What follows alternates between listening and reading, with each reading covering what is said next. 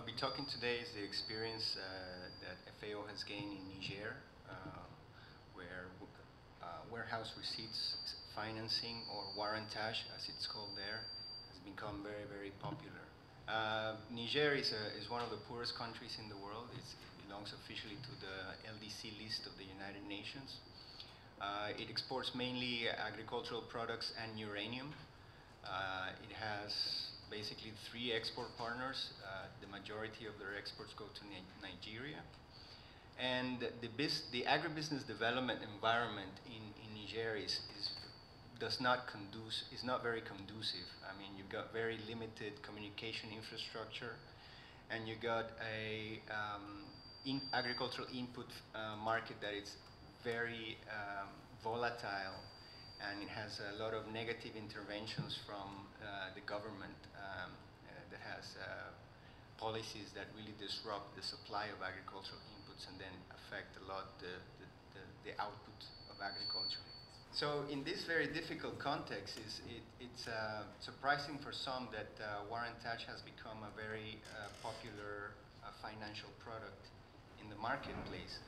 They've adapted it to the local conditions. Basically, in Niger, there aren't uh, big facilities of storage, and there isn't specialized storage manager, managers. Uh, so it is farmers through their producers organizations that have really organized themselves to build storage facilities.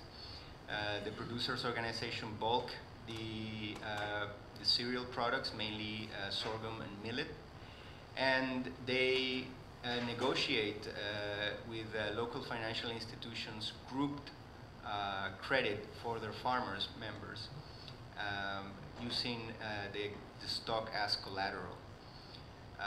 so this basically means that uh, once the local financial institution provides a credit to the producer organization, the organization disburses it to the individual farmer based on the amount that was stocked during that season.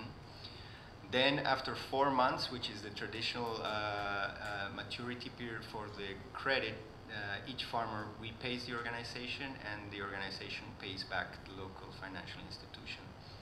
The, currently, the interest rate is of 2.5% per month. Uh, the amount is usually 70 to 80% of the value of the stock product at the time of the contract.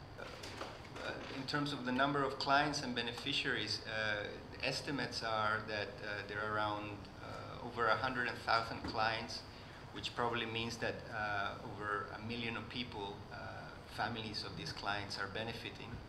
And the penetration rate in rural areas has increased steadily. Currently, estimates say it's around 5 to 6 percent. So how how in this environment has Warrantage uh, flourished in a way? And uh, I will try to answer this question uh, based on the, the, field observations that we did and the local uh, research made. Here, uh, I, I, talk about the, the pricing, and this relates to, to the question done previously. If you look at the, I would like you to right now focus on the, on the price curve at the top, which is a theoretical price curve that the farmers use based only on the agricultural cycle. That means holding all import and export markets constant and is just influenced by the supply, the local supply. At the peak, every, every August, it is expected that that's the peak of the high price. That's when uh, all harvest has been uh, finished, all storage has been depleted, and it's the least avail it's where the product is least available in the marketplace. Then it starts going down uh, during the year as those very few farmers that have access to irrigation starts uh, introducing their harvest into the market. And when it comes to around October, uh, the rain-fed harvest starts reaching the, the, the markets and that's where you get the lowest peak uh, around November of the price. And then it starts going back again as uh, storage depletes. That is the curve that actually guides the decisions made by, by farmers. Now, if you look at the real prices, which are then uh, influenced by mainly uh, the availability of agricultural inputs, which is volatile, uh, weather conditions, which are also volatile. Some people say it's agricultural, the, the, availability of agricultural inputs are as volatile as weather in Niger. You never know how much uh, you're going to get. And uh, the demand, the local demand and the export demand for the cereals, which mainly come from Nigeria, those are the ones that disrupt that theoretical uh, price movement and, you, and what, that's the result that you get here. But the point that I want to make is that the, pike, the, the high and the low peaks of the price are very predictable. Um, you always get the high peaks around August and you get the low peaks around November. And that really drives the uh, farmers, traders, and lenders to try and organize themselves to take advantage of those price differential. And because it's predictable, they're able to pursue it every year. The second question, uh, the second aspect that I think is extremely important to explain uh, the question is that there is an extremely strong and stable demand for cereals coming from Nigeria. Uh, the Nigerian economy has been uh, growing very fast. It's a net importer of cereals. The purchasing power has been increasing. And so they're able to absorb pretty much any surplus that Niger is able to produce. The challenge for Niger is to produce a surplus, actually. It's not really the, to find the market outlet, which is not the case in many of these uh, least developed countries. The third uh, dimension relates to producers' organizations. You see, the, the great business opportunity uh, faced every year has really mobilized farmers to organize themselves and uh, you know, find the governance structures and the organizational mechanisms to take advantage of those price differentials. So uh, they have built storage facilities and they have found ways to make joint loan requests, approaching local financial institutions, negotiating with them, and that has created a relationship, a commercial relationship with them uh, that has benefited both because the lenders have also learned a lot about agricultural uh, markets. Um, and the fourth one is, well, related to the MFIs themselves. Um, they have targeted the, the rural areas and the agricultural sector, which has forced them to learn their dynamics, and they, they've been able to uh, really understand the value of these cereal stocks, given the uh, great demand for them. And that's why they accept them as collateral, because they know that in case of default, they'll be able to liquidate them. And uh, the constraint of uh, contract enforcement framework in, in Niger um, is able to be overcome because the financial analysis made by lender is based on character and is based on their prediction about future cash flows that can be generated with the stock. It's not about um, whether, you know, if they go to court, they're going to be able to get the, the, the stored commodity uh, as collateral or not, because that could take ages. And in that picture, you see that the type of infrastructure that these farmers use is, is relatively simple. It's safe, but it's simple. And in the door, you got two locks. One lock, uh, the key for that lock is held by the producer organization um, um, uh, pledging the, the, the, stock, and the other key is, is taken by the financial institution, which is not, not guaranteed, it's just mainly symbolic, but it, it shows you the level of, of, of, of, trust that exists. This is based on, based on trust. Um, and uh, so I think those are the things that explain the widespread application of warrantage in Niger. Uh, you got the stable uh, agribusiness opportunities, you got the uh, strong producers organizations, and you got lenders actually being knowledgeable about agricultural markets. But what does that translate to in terms of benefits for agricultural households?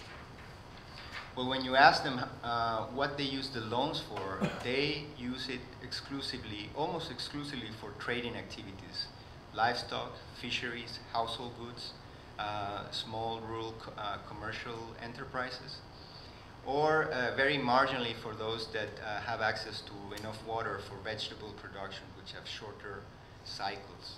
Um, and uh, so those income-generated activities they, they, they, they finance it with the loans, but they very rarely use the warrantage loans for uh, the purchase of agricultural inputs for the main staples because they have a different cycle. They have a longer cycle, uh, longer than the maturity of the loan, so they can't really use it for that.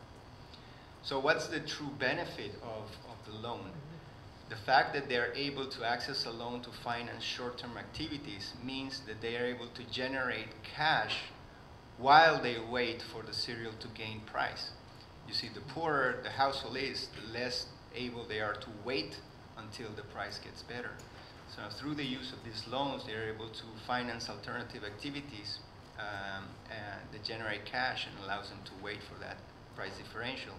And in fact, the main objective of, of all of these farmers is to repay the loan using the cash flow generated from the short-term income generating activities, not the sale of the cereal that is stocked. Um, and just to give you an idea of uh, uh, the price differentials and, and, and, how they are they able to cover the costs of, of the loans. There was this um, study, a survey done uh, in Niger very recently looking at uh, about nine years with a sample of 34 producers organizations. Uh, they reported that the price differential that they saw in each agricultural season was superior to the cost of the principal, the interest rate, and the fees uh, of the loans they required in 71% of the cases. So, because they they cannot predict, they can predict the timing of the peak, they cannot predict the magnitude of the peak. That's a little bit of a gamble. But uh, in most of the cases, uh, this differential is even higher than that. What I'm trying to say is that that shows the potential value of the collateral. That, that is a good figure to say we can accept cereals as collateral because in the worst case scenario, we can, we can sell it and, and still make a profit. But again, uh, I emphasize the stocked commodity is not used to repay the loan that was given by the local financial institution.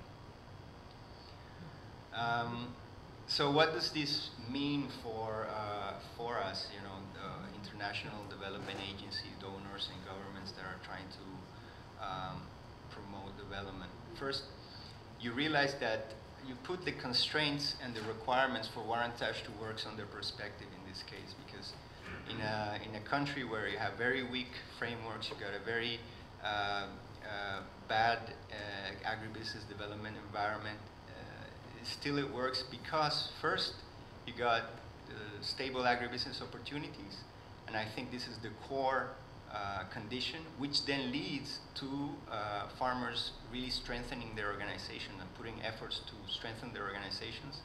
And then you get lenders accepting the collateral. Uh, and that's, that's really why it has been widespread. But if you look at the core business condition, uh, that is not easy to replicate you know, when it comes to us, uh, developing agencies. You, you, cannot create a Nigeria next to uh, every single least developed country that you're trying to help. So when you're trying to promote Warrantage, you really need to consider that it can really be only applicable if you have steady, stable agribusiness opportunities with commodities that are storable. Um, and you know, uh, once this is met, then you can think of several interventions to support the process, which has been the case in Niger. You can help producers' organizations in improving their marginal capacities. Um, you can help them uh, gain better, higher profits by, uh, you know, participating in higher rent markets. You can help lending institutions improve their analysis of agricultural markets. Um, but uh, these initiatives are all ultimately led by the local farmers, the local traders, and the local lenders, and you just play a facilitating role.